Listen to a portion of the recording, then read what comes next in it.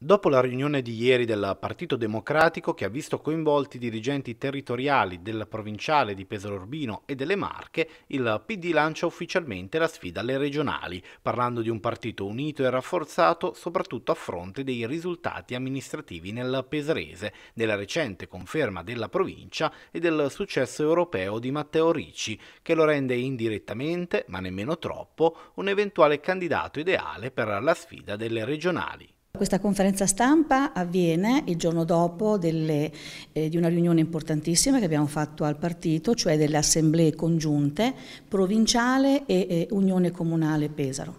dove il partito a tutti i livelli, dico a tutti i livelli perché era presente anche la, il partito regionale con la vice segretaria Bello Maria, visto che la nostra segretaria Bonprezzi è impegnata per lavoro fuori regione, quindi ecco una, una posizione eh, del partito a tutti i livelli unitaria eh, su ecco, quello che abbiamo discusso. Eh, ovviamente dopo le elezioni eh, europee e poi la conferma dell'ottimo risultato delle elezioni provinciali, eh, posso dire che l'aria è completamente cambiata.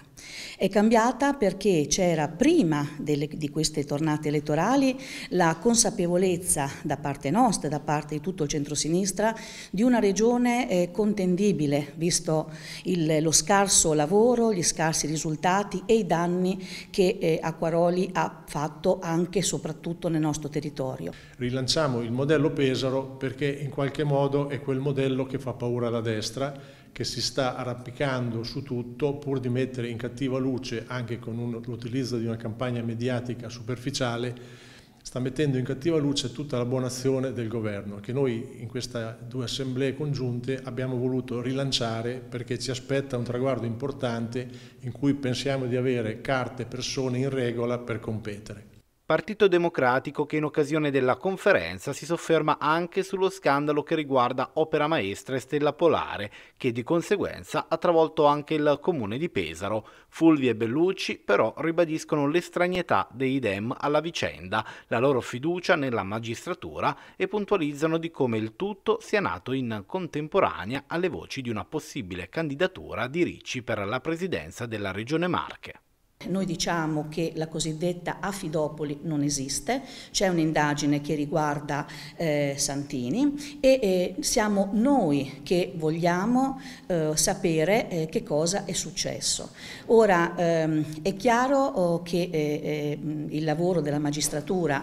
deve essere svolto nella maniera dire, più serena, tant'è che noi abbiamo anche aspettato no, a uscire pubblicamente perché non volevamo fare né confusione né interferire in, ogni, in nessun modo. Però ecco, siccome ultimamente parlano anche le cicale, è giusto che il Partito Democratico dia il suo contributo. Quindi massima fiducia nella magistratura, eh, anzi auspichiamo che tutto questa, questo percorso e questa indagine e questa verifica della situazione eh, possa avvenire in tempi eh, più brevi possibili e eh, massima eh, solidarietà, sostegno eh, e fiducia nei nostri amministratori. Non riguarda i nostri amministratori che stanno collaborando collaborando nel migliore dei modi con, eh, con eh, gli inquirenti, riguarda un altro soggetto e noi ecco, vogliamo sapere che cosa è, è, è successo. Per cui è chiaro che la circostanza della partenza di questa campagna di delegittimazione di tutto il lavoro dell'amministrazione comunale eh,